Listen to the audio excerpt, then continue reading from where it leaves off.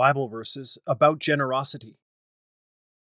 The liberal soul shall be made fat, and he that watereth shall be watered also himself. Proverbs chapter 11, verse 25. But this I say He which soweth sparingly shall reap also sparingly, and he which soweth bountifully shall reap also bountifully. 2 Corinthians chapter 9, verse 6. Give, and it shall be given unto you.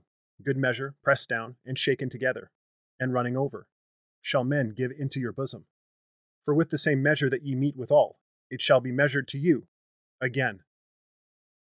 Luke chapter 6, verse 38.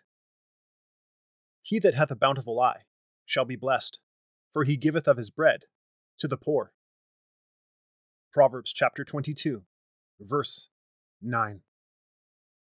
I have showed you all things, how that so laboring ye ought to support the weak, and to remember the words of the Lord Jesus, how he said, It is more blessed to give than to receive. Acts chapter 20, verse 35. He that hath pity upon the poor lendeth unto the Lord, and that which he hath given will he pay him again. Proverbs chapter 19, verse 17. Thou shalt surely give him, and thine heart shall not be grieved when thou givest unto him, because that for this thing the Lord thy God shall bless thee in all thy works, and in all that thou puttest thine hand unto. Deuteronomy chapter 15, verse 10. That they do good, that they be rich in good works, ready to distribute, willing to communicate, laying up in store for themselves a good foundation against the time to come, that they may lay hold on eternal life. 1 Timothy chapter 6, verses 18 to 19. He that giveth unto the poor shall not lack, but he that hideth his eyes shall have many a curse. Proverbs chapter 28, verse 27.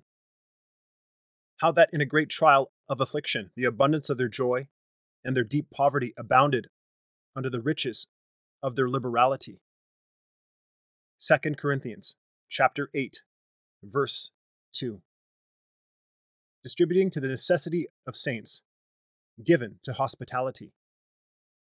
Romans chapter 12 verse 13 The wicked borroweth and payeth not again but the righteous showeth mercy and giveth Psalm 37 verse 21.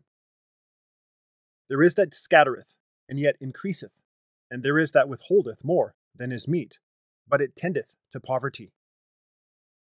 Proverbs chapter 11, verse 24. But to do good and to communicate forget not, for with such sacrifices God is well pleased. Hebrews chapter 13, verse 16.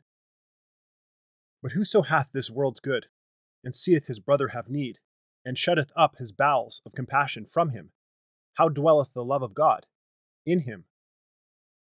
1 John chapter 3, verse 17.